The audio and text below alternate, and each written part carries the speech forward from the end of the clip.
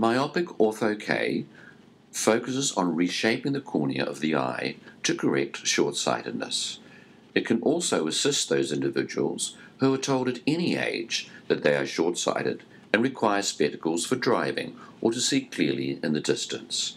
It involves flattening the cornea, the front of the eye, which decreases the curvature, and this results in less myopia.